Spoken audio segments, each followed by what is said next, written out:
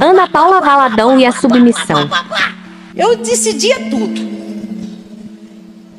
Eu decidi que eu não ia mais decidir. E eu decidi que eu ia gostar do que ele decidisse. Essa música, ela foi uma das ferramentas para inspirar o nome do meu ministério. Aleluia. A igreja chama-se Igreja Apostólica Plenitude do Trono de Deus. Um trecho de uma pregação da Ana Paula Valadão para mulheres tem viralizado nas redes sociais e muitas pessoas me pediram para comentar a respeito disso, pois identificaram neste trecho uma certa mensagem elitista. É claro que não foi com essas palavras que essas pessoas identificaram. Vamos aqui ao trecho e eu volto para comentar, mas desde já, por favor, deixe o seu like, ative o sininho e se inscreva no nosso humilde canal. Ana Paula Valadão e a submissão. Eu decidia tudo. Eu decidi que eu não ia mais decidir. E eu decidi que eu ia gostar do que ele decidisse. E eu falei para ele: olha, esse ano eu não quero nem saber onde nós vamos passar as férias. Você escolhe tudo, meu bem. Você só me fala se é para fazer mala de frio ou de calor. O que você quiser comer, onde você quiser passear, o hotel que você quiser ficar, você pode escolher tudo. Eu quero ser surpreendida.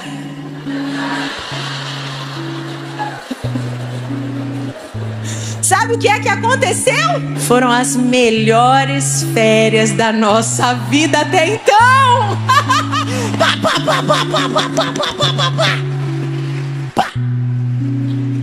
Algumas pessoas comentaram em vários locais onde esse trecho foi postado. Abre aspas. A preocupação da mulher é onde ela vai passar as férias, bem distante da realidade de qualquer outra mulher do Brasil. Outra pessoa escreveu: Submissão com dinheiro no bolso é muito fácil. Ainda teve uma outra seguidora que pegou mais pesada, hein? Disse o seguinte: Depois reclama de estar com depressão.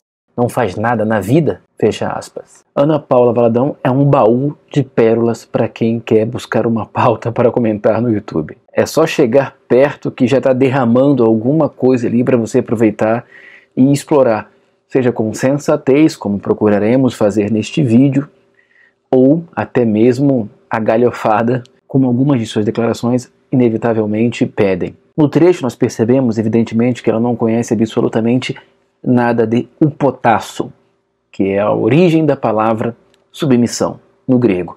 Falaremos disso mais adiante no vídeo.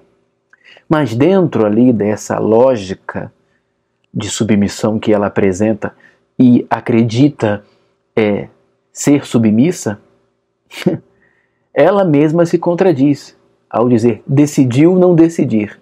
Por si só já é uma decisão, né? Mas também esperar o quê de uma mulher que casou com um homem que nem ele foi quem escolheu ela para casar.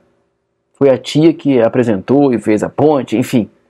Então, você percebe que a dificuldade dela se submeter a um homem com essa postura. Vamos lá. E fala sério, colocar-se como exemplo de mulher submissa, uma situação do cotidiano tão banal, é de total falta de responsabilidade, maturidade, sabe-se lá o que. Lamentavelmente, ela influencia outras mulheres. Esse tema, ele é tão rico, e eu estou aqui falando ainda dentro da linha que ela apresentou. Cara, que exemplo infeliz, hein? Que exemplo assim tão distante da realidade. E eu não falo nem da questão social, mas da urgência que é esse tema. Como que uma mulher que vive com um marido com problemas com alcoolismo vai trabalhar a submissão? Como que uma mulher que vive com um marido cuja convivência é extremamente hostil vai trabalhar a submissão?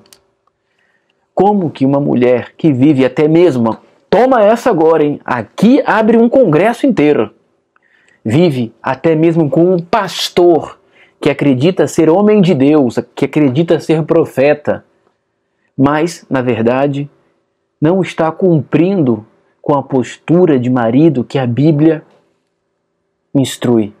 Como que essa mulher pode trabalhar sua submissão contribuindo para que este marido de repente desperte e tome as atitudes certas?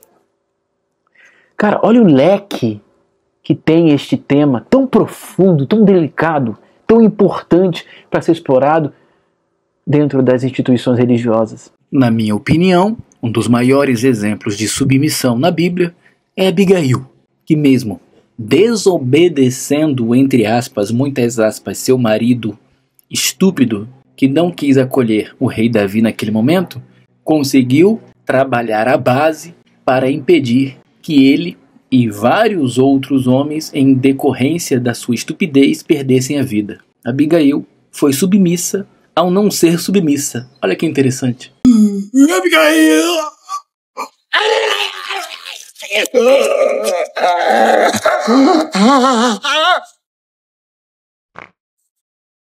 O problema é que essas pessoas, de tanto beberem de fontes americanizadas, se projetaram para lá. E agora ficam lá bajulando deve, deve taivos, deve teivos, sei lá. E aí essa mulher que cobra milhares de reais para você almoçar com ela, desconhece completamente essas questões tão urgentes dentro do sistema religioso, pelo menos do Brasil, eu não sei como é lá fora, mas do Brasil, eu acho que o caminho seria esse. Aí, como a Deves não conhece absolutamente nada da realidade do povo brasileiro, de onde Ana Paula Valadão vai tirar? Não vai, porque não viveu nada.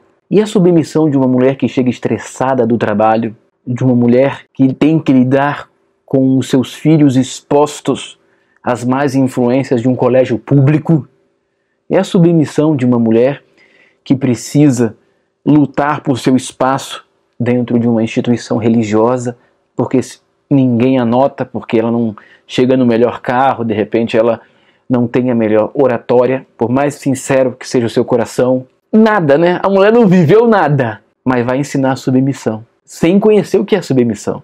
Mas o coraçãozinho das pessoas ficou magoadinho. Magoadinho porque Ana Paula citou um exemplo muito distante da realidade. Malas para frio ou para calor? Como assim? Eu nunca tirei férias na vida? Mal, mal fui para casa de um parente quando tive a oportunidade. Essas pessoas se alimentam do dinheiro de pobres para viver uma vida completamente anos-luz da realidade de qualquer um de nós. Eu não fico surpreso com a imbecilidade deste exemplo, com a futilidade deste exemplo. Eu me surpreendo com a sua decepção. Esperar o que de uma mulher que cobra 30 mil reais para ministrar em uma igreja, para cantar e falar ali o óbvio sobre o Evangelho. Eu tinha uma visão diferente da Ana Paula Valadão por conta daquele dossiê que recebemos. Aquele dossiê que recebemos me fez ter ali uma compreensão mais com mais tolerância às meninices e ingenuidade da Ana Paula. Porque talvez estivesse contaminado pela relação da pessoa que escreveu o dossiê, que depois foi replicado aí na internet por muitos canais. Então, aquele dossiê veio meio contaminado por de repente essa relação. Mas se você olhar agora, eu mudei completamente a partir do momento que eu vi a Ana Paula Valadão falando mal do Agenor Duque. Porque o Agenor Duque ele é um falso profeta, todo mundo sabe disso. Agora que ela não precisa mais do dinheiro do Agenor Duque, ela chama-o de falso profeta. Mas e quando ela fez isso daí? Antes mesmo do dia das toalhinhas. Ela fala que se chocou com o dia das toalhinhas. Mas antes ela estava lá na igreja. E que é fruto do que Deus já fez na sua vida. E outros filhos da fé ainda virão. Que Deus te leve para aquela nação como um canal de bênção, como esse rio que jorre e flui do trono de Deus. Deus abençoe e louve o céu pelas nossas vidas, os que podem. Aplauda o céu pela vida desse.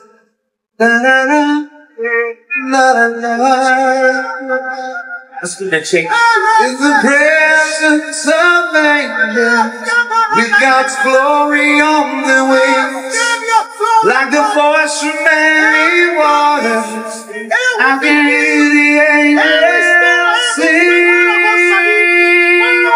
Nem gosto de falar pastor. O homem lá que era líder dessa igreja aí começou a falar: se você quiser ser curado, é só você comprar um lencinho por 100 reais, que você leva esse lencinho que vai curar a pessoa que está doente lá na sua casa. Karina, quando chegou na última música, eu percebi o leão, o Senhor, se manifestou ali atrás de mim.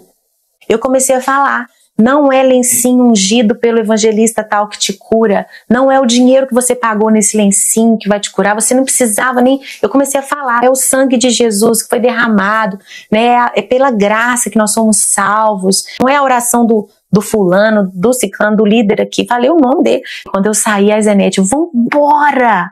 Ela falou que quando eu comecei a falar, eles ficaram. Foi um, um transtorno. Eles queriam desligar o som começaram a correr, gritar, mas não conseguiram. E eu, e eu cheguei ao fim do meu recado. Agenor Duque responde: fala de Ana Paula Valadão sobre venda de lenços para curar. Agora, uma pessoa como Ana Paula Valadão, de onde começou isso? Então ela foi lá, que meu intuito aqui não é desmerecê-la, mas provar que a senhora está doente espiritualmente. Até porque você também falou. E a sua doença não é física, é espiritual. Ela fala que quando ela foi vir a primeira vez, ela foi recomendada, e a pessoa que recomendou ela, na verdade, foi seu próprio irmão, que o André que tinha vindo aqui. E a Mariana Valadão também, que eu tenho um grande respeito por ela. Só que ela disse que orou ao Senhor. Então não teve oração, irmã Ana Paula Valadão. Não teve louvar por amor. Ai, Senhor, eu te amo. Não teve oração para Deus testificar. Não teve oração, teve cachê. Foi essa multidão pobre que pagou você. Então ela fala que tinha uma multidão e você olhando para as pessoas, você via que elas eram pobres. Primeiro que ninguém pagou para entrar, coisa que vocês não fazem. Vocês não fazem show de graça, vocês vendem ingresso. Mas a gente tinha que pagar a senhora, pagar os demais. Eu não vou mostrar aqui a lista de todos. Não vou citar aqui o seu irmão, que ele é uma pessoa maravilhosa e honrou muito o pastor Benihim. Eu sei que o ódio dela é porque eu tô falando da árvore de Natal. Eu sei que a raiva dela é porque eu falo sobre Halloween, que a senhora faz Halloween na sua igreja. Eu sei que a senhora me atacou porque eu tô. E repare que estava com ela também o marido dela que, se eu não me engano, vem de uma igreja ali mais conservadora, uma igreja reformada. Será que ele não se chocou? 30 mil na conta por quê? Uma hora e meia, duas horas? Nem isso, né? Duas horas. 45 minutos, canta e mete o pé. Não quer, quer contato com as pessoas, mano. Tá, obrigada a você. Ah, não, tá bom, não quero mais não. Tá, obrigada. Ai, amei. Amei. Obrigada. Tchau. Ai, às vezes fico um pouco sufocada. Acho que essa moça mesmo tirou acho que umas cinco fotos comigo. Mas eu sei que é muito carinho das pessoas, né? Eu sei que. Aí eu te pergunto, não sabia nesse dia que o Agenor Duque era profeta? Ah, não, não sabia.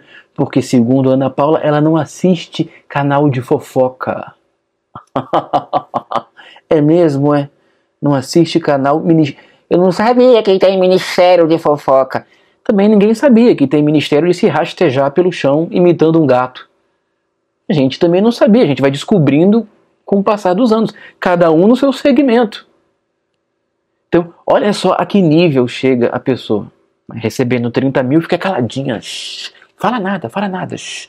Vamos fingir que não estamos vendo nada disso aqui. O cara vestido de Fred Flintstone, o cara com um boneco de Golias e dando uma espadada no pescoço do boneco, as pessoas beijando o pé da mulher dele, mas vou fazer vista grossa tudo isso, vou lá pegar meu dinheiro. Amigão, tudo bem, pegue seu dinheiro, mas assuma que você é do jogo. Assuma que você é do job. Agora, sai de lá e quer pagar de superior?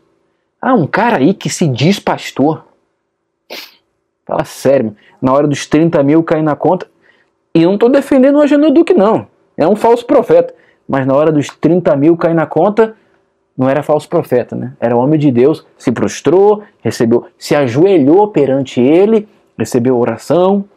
Então, naquele dia ali, meu, a partir do momento que ela fez, que ela deu aquela opinião, meu irmão, a minha visão mudou sobre ela, tá? Essa mulher aí é sonsa, é muito é da esperta. Aí fica você, seguindo um povo desse, deixando com que esse povo tenha qualquer tipo de influência na sua vida. Esse povo é malandro, cara. Esse povo não chegou lá da noite pro dia, não. Ali é dinheiro, ó. É o pai ali já investindo. Enfim, em outro momento falamos sobre isso aqui. Vamos falar a respeito da questão da submissão. No hebraico, a palavra usada para submissão é upotasso, que significa arranjar ou colocar. Upo significa debaixo e taço arranjar. Repare que upo significa arranjar e taço significa debaixo. Então, a grosso modo, seria uma tradução meio bruta, arranjar de baixo. Eu acredito que submissão não tem a ver com apenas abrir mão de uma escolha pela escolha ali do tal cabeça eu acho que isso é muito fútil. Eu acredito que a raiz da palavra submissão, arranjar de baixo, quer dizer preparar a base. Seria mais ou menos essa a tradução. Então, quando você está sub, você é submisso ao seu patrão, você prepara a base para que ele continue sendo o seu patrão. Se você não fazer o seu serviço de base, toda a estrutura cai e o cabeça deixa de ser cabeça e é nivelado ali a sua altura. A empresa quebra. Não tem a ver com renunciar o seu desejo pelo desejo do seu marido, e sim preparar a base, fazer a estrutura, facilitar para que ele, caso esteja já vindo na direção certa, tomando, cumprindo o seu papel de marido, se preocupe com as decisões mais importantes, porque decisão também envolve responsabilidade. A submissão é a missão da base. Sem a base, não tem como o indivíduo trilhar o seu caminho. Eu gosto muito de um exemplo que eu assisti num documentário. Infelizmente, as pessoas, inevitavelmente também pelo personagem, acabam deixando de aprender um pouco sobre sua vida por conta da sua postura política, que é a Michelle Obama. Eu vou falar sobre por que, que eu acho o exemplo da Michelle Obama um bom exemplo de submissão mais adiante. Mas eu quero lembrar você, olha como é tratada a submissão dentro do sistema religioso. Quem não se lembra do exemplo de submissão dado pela esposa do Sorocaba? A esposa do Sorocaba vai relatar que o Sorocaba atraiu. Se eu não me engano, até mesmo na gravidez. E nisso ela, como uma mulher submissa agora à palavra de Deus, decidiu continuar com ele por amor. Eu te pergunto, isto é submissão? Veio um adultério onde chegou em um momento muito difícil para mim porque eu estava totalmente debilitada e vulnerável em uma situação de saúde.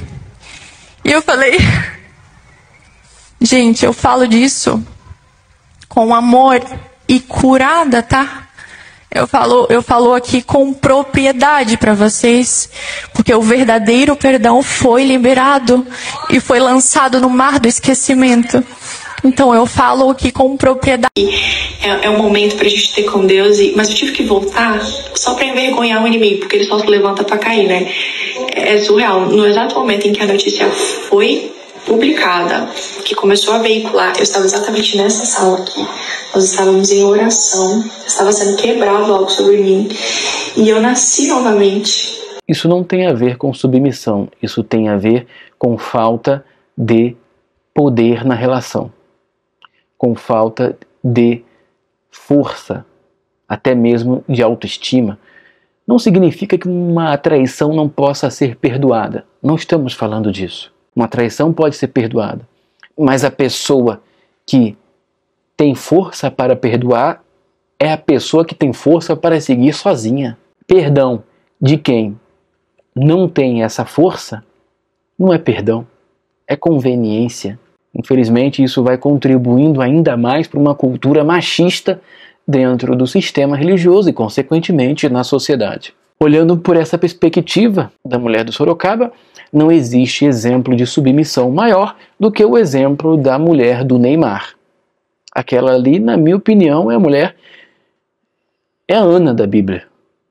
É a Ana aí da submissão. É a Eva é o maior exemplo que você puder imaginar de submissão. Afinal de contas, ela que nunca aceitou na vida um relacionamento aberto, hoje se submete às vontades do menino Ney. Afinal de contas, o menino Ney não segura a manjuba dentro da calça, ele não consegue, né? É muito, é muita manjuba. Então, ele pode trair à vontade, ela já liberou, ele pode ter os casinhos dele, que ela vai continuar ali, como uma santa no altar. Isso é submissão? Isso é mau caratismo. Inocência, até uma certa idade, é tolerada. Depois de um certo nível de experiência de vida, é perversão. No fundo, essa bagaceira a beneficia de algum modo, todas elas. Então isso não é submissão. De modo que eu acho bem mais interessante o exemplo da Michelle Obama. Claro, eu estou fazendo este vídeo para as pessoas com dois neurônios ainda funcionais, né? Não estou fazendo este vídeo para aquelas pessoas que acreditam que Michelle Obama é um homem. Essa, você tem que ir lá assistir aquele filme do Armagedon da Bruna Carla. Você tem que ir lá ver aquele filme. O que você quer tá lá, tá? não tá aqui. Quando eu assistia, eu acho que o documentário ou série na Netflix da Michelle Obama me chamou a atenção exatamente este trecho, onde ela e o Obama se conheceram na faculdade, né? E os dois tinham muitos sonhos, mas ela sabia que o Obama tinha algo grande dentro dele. E ela estudando, e ele estudando, e casaram e formaram sua família, e ele crescendo cada vez mais no meio político, chegou o momento que ela entendeu que se ela continuasse investindo na carreira dela naquele momento, o casal iria começar a ter problemas dentro de casa. Pois as filhas precisavam de atenção, o marido precisava de um suporte. Neste momento, Michelle Obama sabiamente toma a decisão de dar uma pausa na sua carreira para apoiar, para ser a base da carreira do marido. Isso é submissão. Eu sei que para algumas mulheres é difícil de engolir, mas ou você faz isso ou o casal vai se separar. Ser a estrutura emocional, tirar tudo do caminho que atrapalha, que suga a energia, que desvia o foco. Pois se o homem é o cabeça, na cabeça estão os olhos. A mulher tem que na sua condição de submissão, que é tão importante quanto a posição do marido, ser aquela que vai tirar do caminho qualquer coisa que desvie o seu foco, o foco do cabeça. Agora, quem quer fazer isso?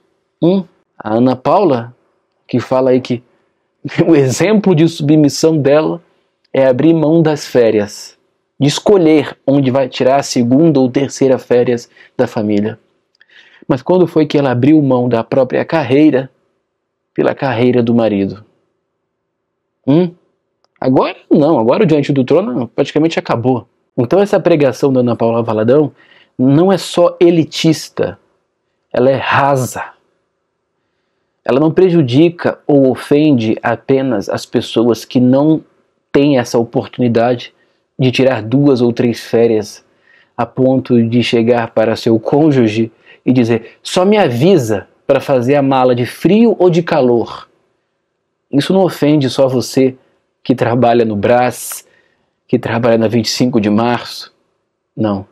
Isso ofende até mesmo as mulheres que estavam lá. Pois tem problemas com maridos que não cumprem seu papel de maridos mesmo servindo a Cristo ou assim acreditando servir, mas querem ser o cabeça. Como é que essa mulher vai ser submissa? Se tudo o que ela aprendeu de submissão é abrir mão de si, e deste modo se perpetua relações abusivas, deste modo se perpetua relacionamentos tóxicos, deste modo se perpetua famílias infelizes uma mulher infeliz no casamento fará filhos traumatizados e infelizes. E tudo isso porque não teve coragem de romper com o sistema. Tudo isso porque não aprendeu o que é de fato submissão. Pois se tivesse aprendido, romperia com o sistema, pois veria que não tem como aplanar uma estrada para quem não quer percorrer. Se o teu marido não quer percorrer este caminho, por que, que você vai aplanar essa estrada? Como você vai ser submissa, cuidar da base, se ele não vai cruzar essa estrada? Aí fica lá, perpetuando uma roda de castigo dela. Aí a filha vai buscar um marido igual o pai, e assim por diante. Ó. Pá, pá, pá até que alguma vai romper com esse ciclo. Mas esta é a igreja gourmet milionária brasileira do dia de hoje. Um congresso com telões de LED, mas sem a essência da palavra, sem a semente, sem a simplicidade. Impressionante, cara. Que futilidade.